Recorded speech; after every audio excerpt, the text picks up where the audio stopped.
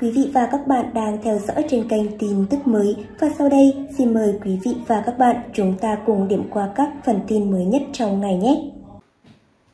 Sau nhiều năm định cư tại Mỹ, nghệ sĩ Tài Linh khiến người hâm mộ thổn thức khi về nước tổ chức chương trình từ thiện ý nghĩa và hát tướng nhớ nghệ sĩ Vũ Linh. Từ lâu, cái tên Tài Linh đã trở thành biểu tượng trong lòng những người yêu mến và hâm mộ cải lương. Năm 2003, Tài Linh gây tiếc nuối khi quyết định sang Mỹ định cư và hạn chế con đường ca hát do muốn dành nhiều thời gian chăm sóc gia đình. Mới đây, Tài Linh có chuyến thăm quê hương sau 16 năm xa cách vào đúng dịp cúng thất thứ năm Vũ Linh. Cũng trong lần trở về này, nữ nghệ sĩ đã dành thời gian làm từ thiện, đến thăm bà con nghèo tại phường 1, huyện Duyên Hải, tỉnh Trà Vinh và gửi tặng 120 phần quà ý nghĩa trị giá hơn 60 triệu đồng. Tài Linh mong muốn góp chút sức mình mang đến cho bà con cái Tết ấm no, vui vẻ hơn. Chuyến đi còn có sự góp mặt của người bạn diễn ăn ý của Tài Linh là nghệ sĩ cải lương Vũ Linh nghệ sĩ Minh Tâm và Tài Lương trở về sau 37 năm định cư tại Pháp cũng tranh thủ thời gian về thăm quê hương để đến thăm. Bà con, bên cạnh đó, nhiều nghệ sĩ trẻ và các fan hâm mộ tiếng hát của Song Linh cũng đồng hành trong chuyến đi. Chuyến đi đã mang đến nhiều cảm xúc hạnh phúc cho tất cả thành viên trong đoàn. Sự yêu thương của bà con địa phương đã góp phần làm cho chương trình trở nên ý nghĩa hơn. Và cái tên Tài Linh luôn đẹp, trọn vẹn trong lòng của người hâm mộ.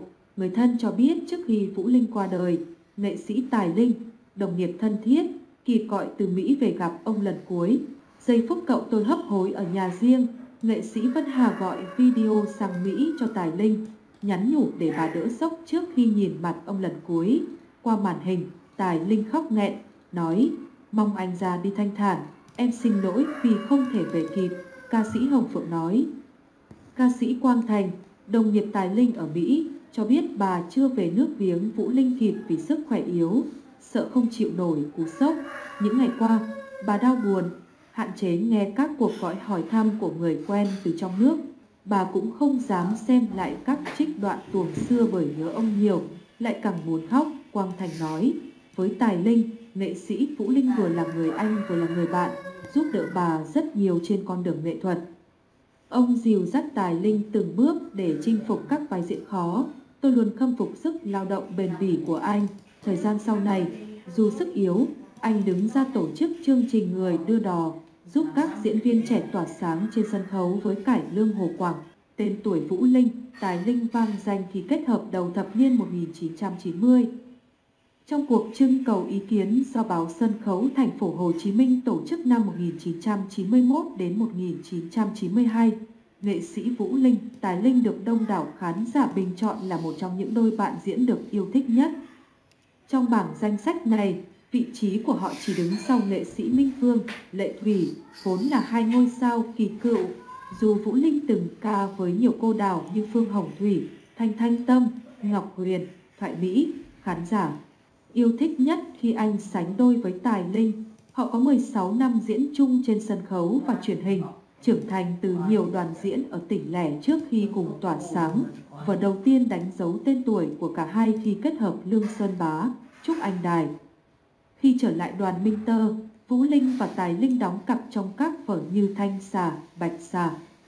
Đôi song Linh còn tham gia chương trình Mưa Bụi, hiện tượng video ca nhạc thời đó giúp họ mở rộng thị phần biểu diễn, có thêm khán giả trẻ, theo đạo. Diễn Thanh Hiệp, thời cải lương video phát triển vượt bậc, Vũ Linh, Tài Linh gây tiếng vang với khán giả hải ngoại. Mỗi tháng có 15 vở diễn được dàn dựng thì 10 vở góp mặt Vũ Linh, Tài Linh cùng với đó mạng xã hội cũng tràn ngập những hình ảnh, video clip liên quan đến nam nghệ sĩ quá cố được người hâm mộ liên tục chia. Sẻ, trong số đó, cộng đồng mạng đã không khỏi bồi hồi khi được xem lại màn song ca giữa Cố Vũ Linh và Tài Linh Cách đây khá lâu. Trong đoạn clip được chia sẻ, trong một lần hội ngộ cùng nhau, Cố Vũ Linh và nữ Tài Linh đã song ca lại một trích đoạn cải lương nổi tiếng một thời của cả hai Giọng hát của Tài Linh vẫn ngọt ngào và mùi mẫn như mấy chục năm về trước.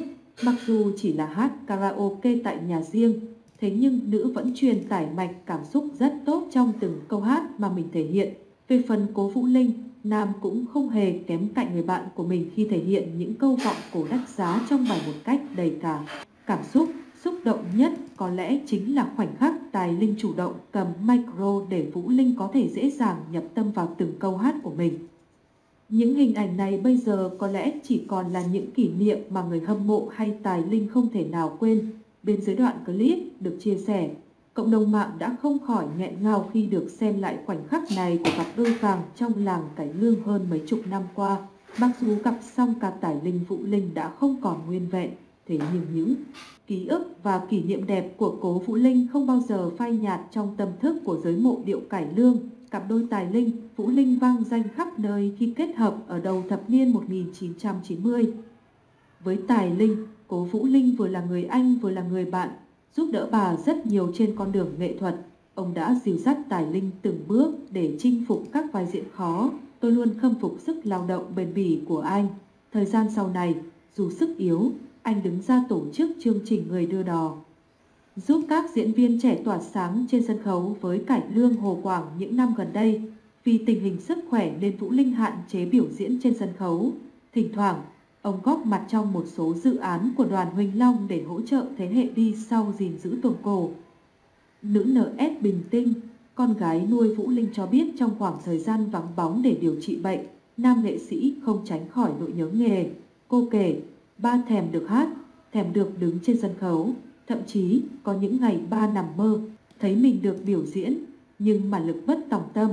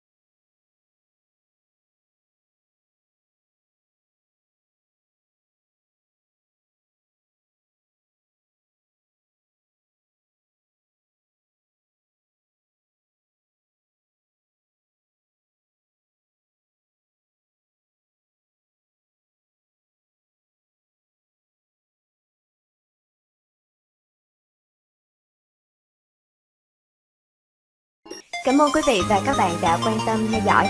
Nếu thích, hãy like và share.